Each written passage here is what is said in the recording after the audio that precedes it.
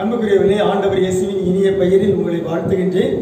நன்றிகள் முப்பத்தி நான்கு என்னும் தொடரில் இன்று மீட்புச் செயல்களுக்காக நன்றி என்னும் தலைப்பில் நான் பகிர்ந்து கொள்ள விரும்புகின்றேன். கடவுள் நம் வாழ்வில் நிகழ்த்துகின்ற மீட்புச் செயல்களுக்காக நாம் கடவுளுக்கு நன்றி செலுத்த வேண்டும் என்று இறை வார்த்தை அழைப்பு விடுக்கின்றது. மீட்புக்காக நன்றி கூறிடுவே. ஆண்டவரின் திருப்பெயரை கூப்பிடுவே திருப்பாடல் நூற்றி பதினாறு திருப்பாடல் நாற்பத்தி இரண்டு ஆறாவது அருள் வாக்கில் நாம் வாசிக்கின்றோம். என் கடவுளின் மீட்புச் செயல்களை முன்னிட்டு இன்னும் நான் அவருக்கு நன்றி செலுத்துவேன். கடவுளின் மீட்புச் செயல்கள். நம் வாழ்வில் கடவுள் பலவிதமான மீட்புச் செயல்களை செய்திருக்கிறார். விடுதலை செயல்களை செய்திருக்கிறார்.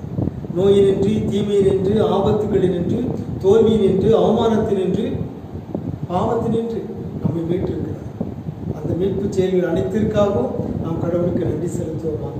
அன்பின் ஆண்டவரே எங்கள் வாழ்வில் நீர் நிகழ்த்திய நிகழ்த்தி வருகின்ற மீட்பு செயல்கள் அனைத்திற்காகவும் தந்தையே மக்கு நன்றி இயேசுவே மக்கு நன்றி தூய் ஆவியாரே மக்கு நன்றி. ஆமேன்.